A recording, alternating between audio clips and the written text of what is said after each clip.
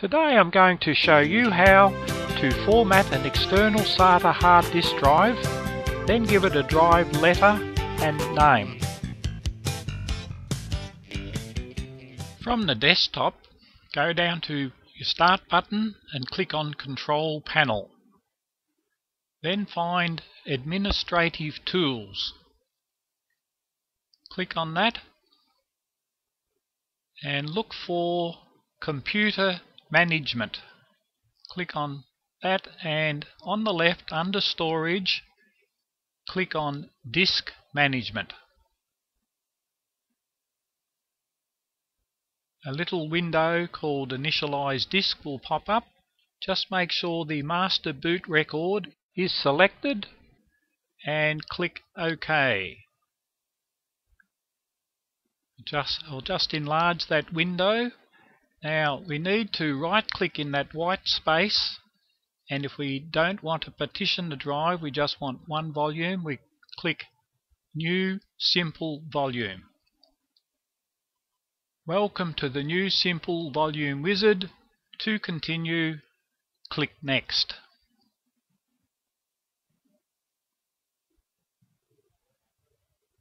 This is where we get to allocate a drive letter. We don't want it to be confused with the CD drive, DVDs, etc., USB memory sticks. So we'll give it a high letter. In this case, I'll give it S for SATA. And if you're happy with that, click Next. Just make sure under the file system that NTFS is selected and now we have a chance to give the drive a name which we'll know when we plug it in. So I'll call this one the Next Star 3 and 1 TB to indicate that it's a 1 terabyte hard drive. Click Next. Let's click Finish and Finish again.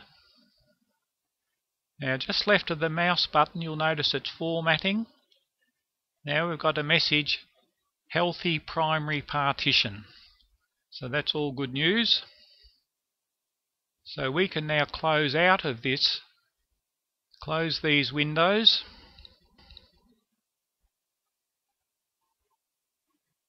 That one. Now we'll have a look in the drive to see what's in our Nexstar 3 drive. There's nothing in there at the moment because uh, we haven't put anything there. This folder is empty. So we can close that.